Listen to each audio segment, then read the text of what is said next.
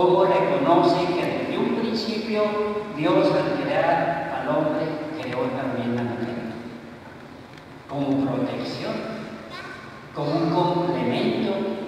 Por eso el matrimonio, como se pretende este, autorizarlo de dos del mismo sexo, porque la iglesia no lo va a aceptar nunca, porque sería, sería violar la ley divina.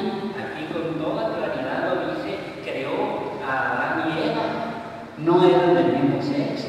Y si Dios creó, él quiere decir que así quiere que sea, y no de la manera que a veces ¿verdad? el hombre perder la historia pues trató de simplificar las cosas de Dios y no debe ser así.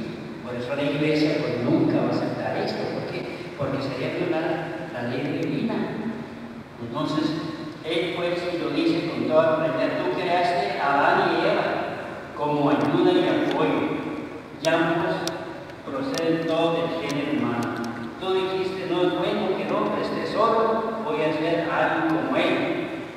que llegue. Vemos pues es un complemento que Dios hizo del hombre y la mujer y así tendrá que ser para siempre.